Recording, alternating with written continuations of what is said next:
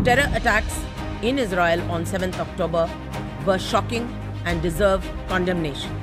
Terrorism is a malignancy and knows no borders, nationality, or race. Let us keep aside differences, unite, and adopt a zero tolerance approach to terrorism. In a world where differences and disputes should be resolved by dialogue, this august body should be deeply concerned at recourse to violence. That too, when it happens on a scale and intensity that is an affront to basic human values. Violence as a means to achieve political objective, objectives damages indiscriminately and does not pave the way for any durable solutions. The terror attacks in Israel on 7th October were shocking and deserve condemnation. Our thoughts are also with those taken hostages. We call for their immediate and unconditional release. Terrorism is a malignancy and knows no borders, nationality, or race. The world should not buy into any justification of terror acts.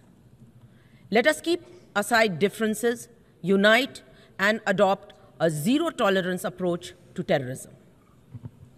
Mr. President, casualties in the ongoing conflict in Gaza are a telling, serious, and continuing concern.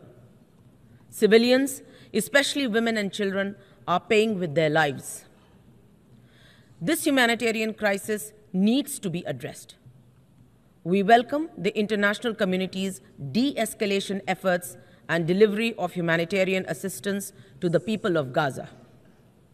India, too, has contributed to this effort. Mr. President, India is deeply concerned at the deteriorating security situation and astounding loss of civilian lives in the ongoing conflict. The escalation of hostilities in the region will only exacerbate the humanitarian crisis. It is necessary for all parties to display the utmost responsibility. Mr. President, India has always supported a negotiated two-state solution to the Israel-Palestine issue, leading to the establishment of a sovereign, independent, and viable state of Palestine living within secure and recognized borders side by side in peace with Israel.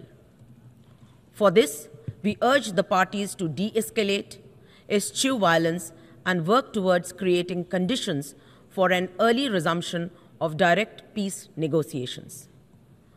We hope that the deliberations of this Assembly will send a clear message against terror and violence and expand prospects for diplomacy and dialogue while addressing the humanitarian crisis that confronts us.